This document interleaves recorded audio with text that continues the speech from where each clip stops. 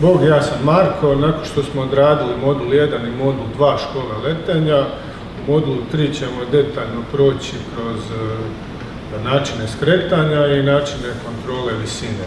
I tu ćemo kroz 8 lekcija proći e, kontrolu potiska i kako skretati sa dronom.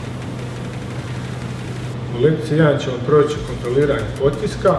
Ključno je da smo dosta precizni sa, sa potiskom, ne da idemo naglo gore dole, već da to bude što nježnije i što kontroliranije. Pa idemo. Cilj ježbe je dosegti cilj bez sudaranja sa preprekama. Lekcija 1 ima vježbu koju moramo proći, znači moramo proći između prepreka Lekcija je završena, idemo na lekciju 2. Znači u lekciji 2 ćemo proći kontroliranje uspona drona, što dajemo više gasa, to će i dron imati brži uspon ili sporiji. Isto je cilj biti što, što kontroliraniji sa doziranjem gasa. U lekciji 3 ćemo proći kontrolu spuštanja, znači isto kako smo se dizali, tako je potrebno se i kontrolirano spuštati, isto preko gasa kontrolirano. Kako? Tako smo imali kontrolu dizanja, tako imamo i kontrolu spuštanja. Spuštamo se oduzimanjem gasa, isto tako moramo biti kontrolirani što nježniji u tome.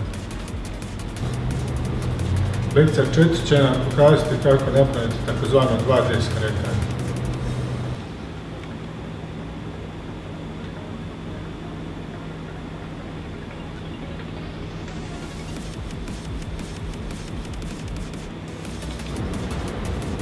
U lekciji 5 ćemo proći takozvano S skretanje.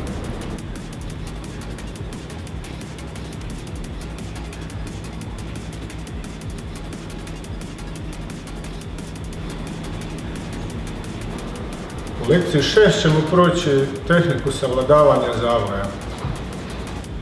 U ovoj lekciji broj 6 ćemo proći različite tipove puteve zavoja i kako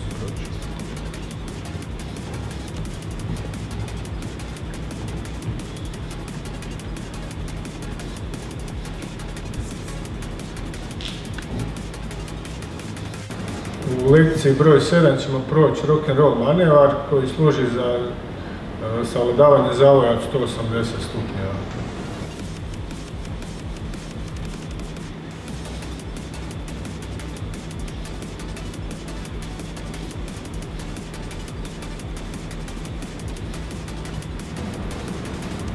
U lekciji broj 8 ćemo proći vrata i prolaze. Sve ovo što smo dosta spominjali u biti služi da bi efikasno prolazili kroz vrata i prolaze u nekoj FPV sesiji.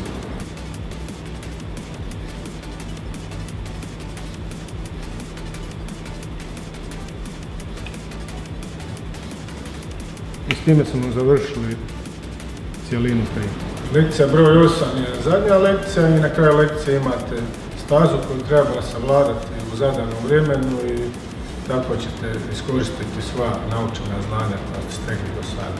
S ovim smo završili modul 3, ubrzo slijedi modul 4, tako da nas nastavite pratiti jer ćemo u njemu proći FPV manevre.